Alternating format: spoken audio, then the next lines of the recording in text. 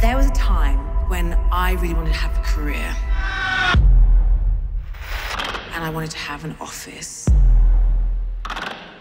And I wanted to have my own furniture. And I wanted to answer to nobody.